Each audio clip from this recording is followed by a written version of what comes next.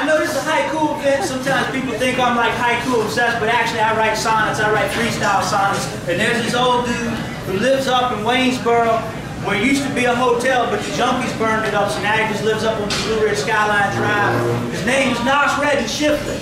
He kind of just talks shit around me, and I listen to him. I've been writing sonnets about Nasreddin. I'm going to do y'all three sonnets real quick.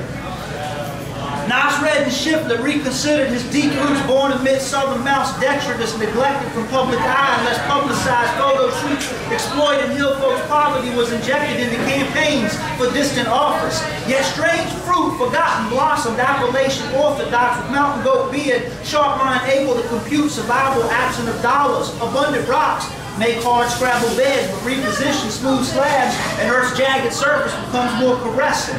Here, Nasreddin remained far from barreling crabs, clutching upward, striving towards sure death, stressing limited time, wasting away, focusing mind upward on mountain, Nasreddin shifting the climb.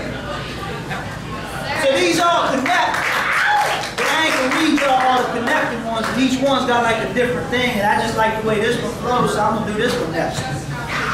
My dominion's union to be one with all kind, regardless of fence post staking property claims, regardless of clock face industrial incline, regardless of red clay bricks emblazoned with names, regardless of past so beaten they become paved, regardless of accepted advancements new black, regardless of not lost believing they've been saved, regardless of those misperceiving Raven Mack, regardless of deceptions those senses commit, regardless of obstructions human mind creates, regardless submit, regardless of how monthly bill debt obfuscates. I live this life searching for peace, not object bliss. I live this life humbly, humbly life gives me this.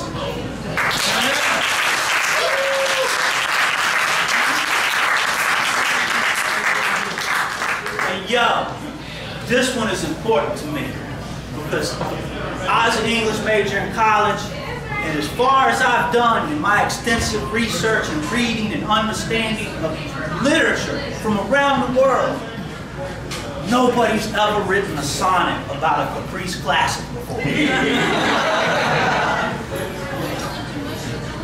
Brightly, with lime green aura of mystic hilltop caprice classic glistens with candy flake glimmer. Man's driven box giving metaphysical hop with deep water boom Baptist bass mirror shimmer.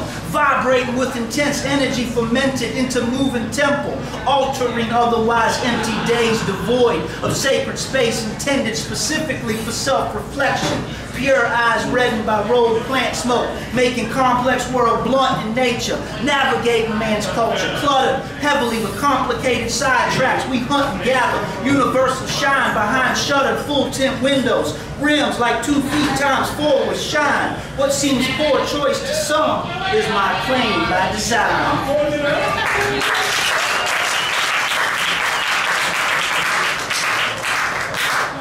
So like my dream would mostly just be write songs about lowriders, be honest with you.